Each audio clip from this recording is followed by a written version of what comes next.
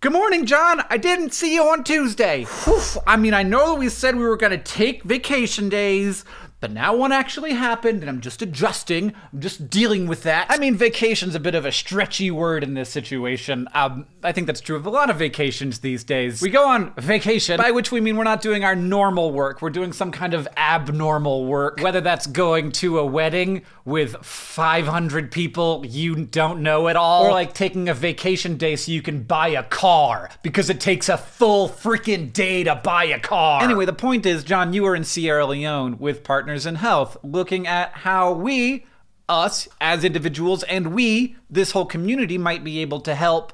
Uh, make life easier there, particularly for pregnant people. And also babies who are great unless they decided that it was time to scream every night starting at 2:30 in the morning for no reason. They're still great. I'm sorry. I'm sorry.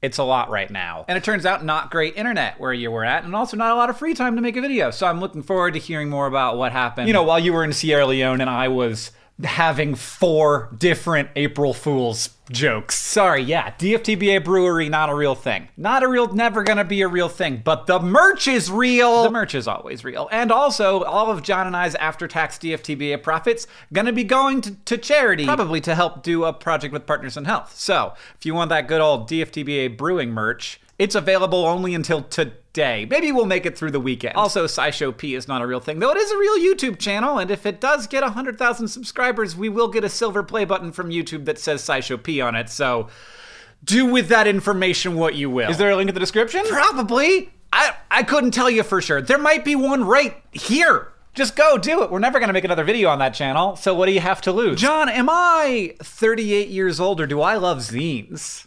Yeah, both. This is my friend Valerie's draw a horse zine. They had people draw a picture and send in one picture of one horse. I don't know what's happening here. Occasionally you get a little blurb from the person about their horse. I have personally picked a favorite horse. You can get this. I'll put a link to their Etsy in the description. It's this one.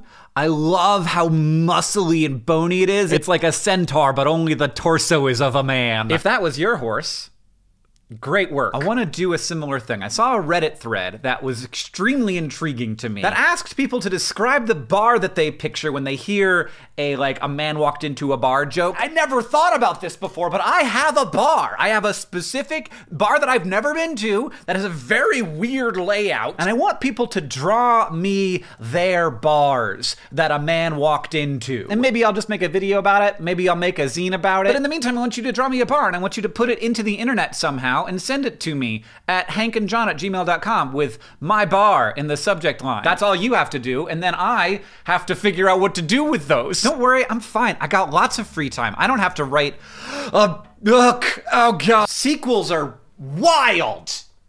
Whew. Recently in the book, I made up a person and then I was like, this doesn't work. And then I got rid of them and they don't exist anymore. That's my job.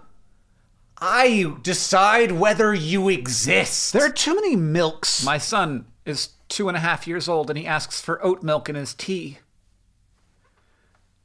What have I done? What have I done? Send me your bars. Uh, and they may be DFTBA Brewery someday, but they won't. But the merch is real. YouTube.com slash SciShowPee. John, I'll see you on Tuesday for real this time. Apparently, I'm still capable of making an entirely unscripted video. I guess. What'd you think? Actually, in the comments, let me know what your favorite recent YouTube discovery was. Defunctland is doing a series on Jim Henson, and I'm super psyched about it.